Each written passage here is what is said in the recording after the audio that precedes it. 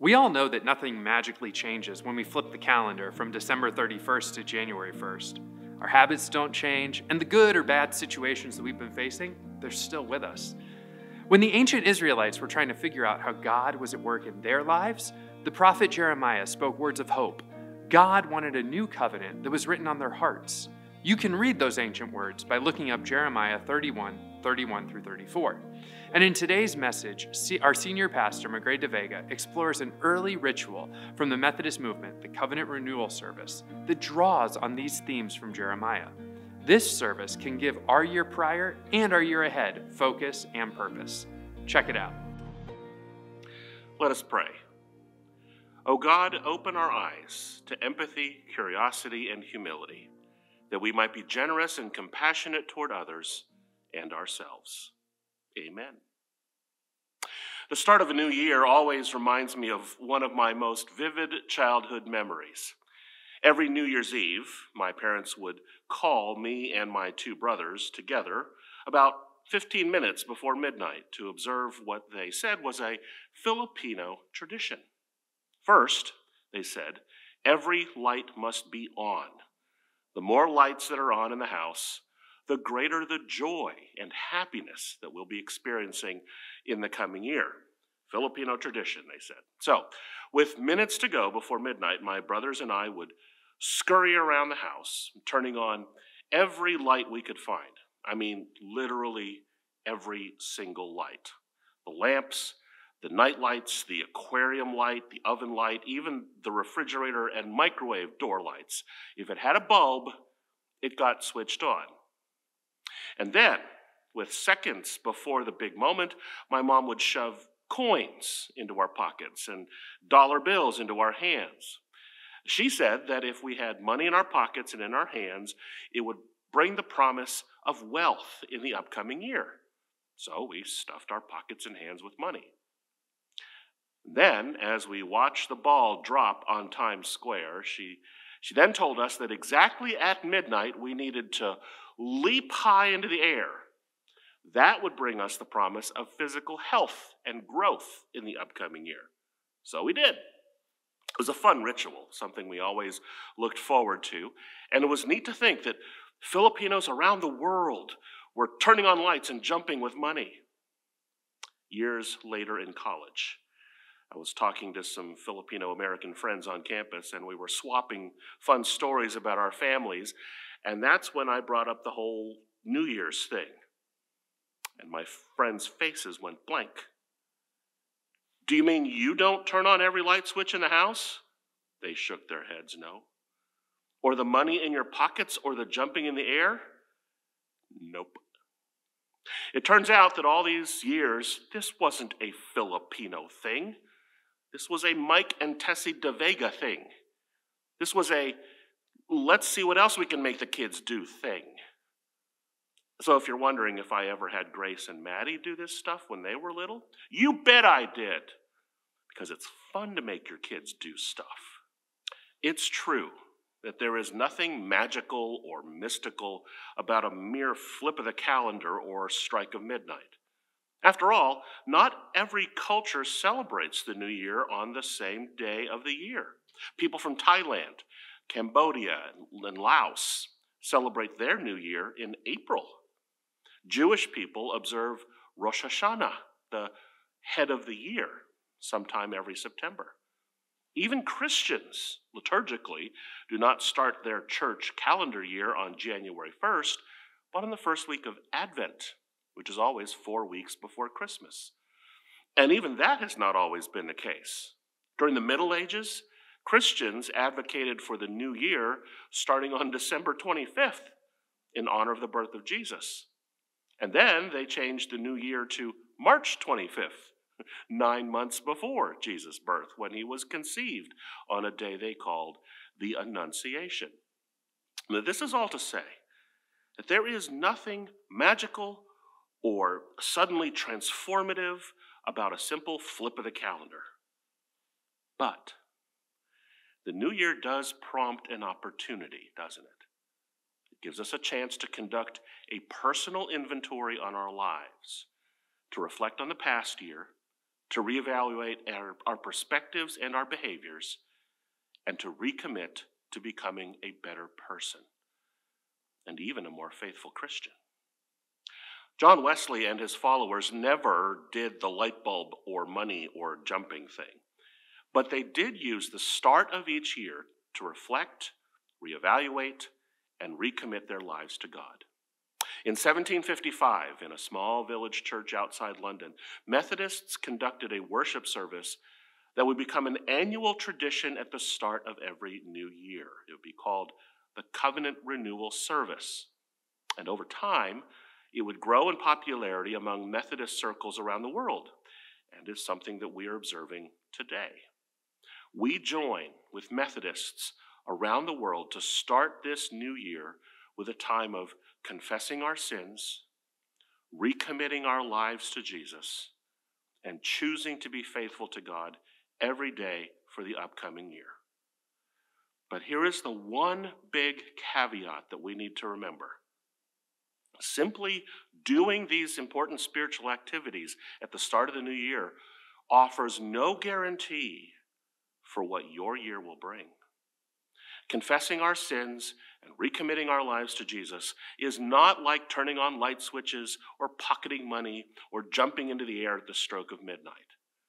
As I've often said throughout my tenure here at the church, God is not a giant vending machine, and no proper combination of actions or button pushing or coin counting will get you the sudden benefit that you were expecting.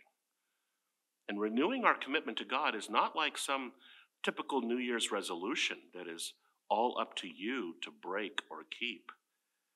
We are only responsible for our own choices to be faithful to God. And that means leaving the outcome of the year ahead to God. I mean, you might find yourself reflecting back on 2022 and thinking, now, wait a minute. I did my very best all last year to be a faithful Christian. I made strides in my spiritual journey. I prayed. I read scripture. I did acts of mercy and justice and gave financially to God. I was faithful in worship and tended to all my spiritual practices more than I ever have. Yet this was still a year with moments of deep sorrow and hardship. And you might think, what good does this all do? It's natural to think that way, especially if we see New Year's Day as a starting line or a finish line, as if all our faithful behavior over the prior year should have produced some blessing to us.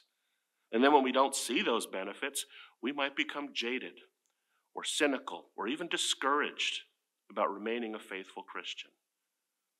And here we remember the words of Jeremiah in our scripture reading today. As God said to the Israelites and to us, that God is making a new covenant with us embedded in our hearts. It means that we might not see the fruitfulness of our faithfulness right now because we're so close to it in the present moment. But God has a different sense of time, one that views our lives in the widest possible lens. And over time, as our faithful choices meet the faithful love of God, we can see transformation taking place.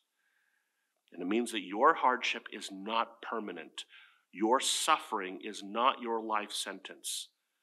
You're simply called to be faithful and God will be faithful to work in you in ways that you cannot see right now. I shared this in my Christmas Day message last week, but I want to share it with you again in case you missed it, and because it's also relevant for today.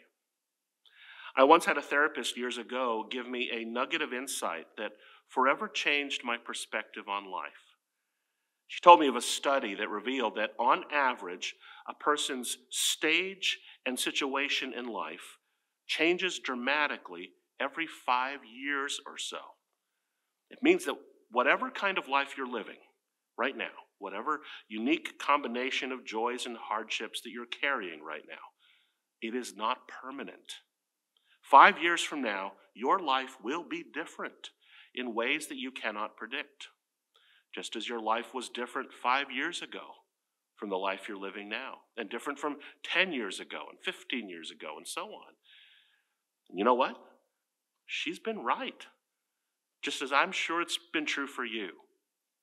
Five years ago, my life was before the pandemic. And how different was life back then? So much of my life and ministry and perspective has changed over these past five years. Ten years ago, I was living in Iowa. I had no idea whether I'd be living there for the rest of my life or whether I'd ever be coming home to Florida. What I knew is that my daughters were young and their mother and I had just separated. The burdens of my life felt so heavy and insurmountable. Exactly 15 years ago was the year my family and I decided to leave Hyde Park in Tampa and my family in St. Petersburg to move to Iowa. And there was so much anxiety and uncertainty about that move, which, which turned out to be great and amazing in so many ways, but we didn't know that back then. 20 years ago, I just become a new parent Grace was about a year old, and everything about our lives changed once she was born. It was a new set of uncertainties and challenges, as well as joys. Exactly 25 years ago, I became a minister in the United Methodist Church. I was very green, very inexperienced, very apprehensive, very naive, and very excited about what the future would hold for me. My stage in life was very different 25 years ago. And 30 years ago, I was in college, still thinking I was going to be a doctor, still wrestling over my faith. And that year, I had just met a woman who would eventually become my wife and the mother of our two girls. I could go on. 35 years ago, I was in middle school. We will not speak of my middle school years. Or my elementary or preschool years, 40 or 45 years ago. And then, a week from this Monday, I turned 50, the big 5 0. So that's something. Every five years, your situation in life changes for the better and sometimes for the worse, but never forever. This is why we are called to be faithful to God every day. Not because our faithful actions will suddenly make our lives better but because God is faithful every day. And God works to transform us in a way that is gradual and continuous and relentless. As I said last Sunday, maybe the transformation at work in your life is less like turning on a floodlight and more like how the daylight gradually grows longer after the winter solstice, or how the sun rises in stages until the dawn is unmistakable or how the room gradually grows brighter as more and more candles get lit one at a time. So maybe the essential character of New Year's Day is not that somehow, with the turn of a daily calendar, that all our problems will go away if we just do all the right things. Being faithful to God does not mean that everything is instantaneously going to be okay. God sees the whole of your life through a broader lens than you can see in the moment but you will begin to see transformation in retrospect. The long winters of suffering that you went through five years ago, 10, 15, 20 years ago may have seemed insurmountable at the time, but you see now that they were just temporary. And in those years, when you rang in the new year and thought about the year behind you, you may have thought that your faithful discipleship made no difference at all. But God was faithful and transformation was happening, just more subtly and inconspicuously than you could notice at the time. God is at work in our hearts, as Jeremiah says. God's faithfulness is not just powerful, but it's persistent, even if it seems imperceptible. All you have to do is remain faithful. For our prayer to conclude our sermon, I invite us to join in offering this prayer written by John Wesley and is commonly recited at the start of a new year. Let's pray. I am no longer my own, but yours. Put me to what you will. Rank me with whom you will. Put me to doing, put me to suffering. Let me be employed for you or laid aside for you, exalted for you or brought low for you. Let me be full, let me be empty. Let me have all things, let me have nothing. I freely and wholeheartedly yield all things to your pleasure and disposal. And now, glorious and blessed God, Father, Son, and Holy Spirit, you are mine and I am yours. So be it. And the covenant now made on earth, let it be ratified in heaven. Amen. I hope this message gave you some new ways to think about how God can work in the world and in your life in this upcoming year. Down in the notes are some reflection questions to help you continue processing this content. And if you want to talk about this message with other people or join us in worship, visit hydeparkumc.org slash next steps to find out more. We'll see you next time.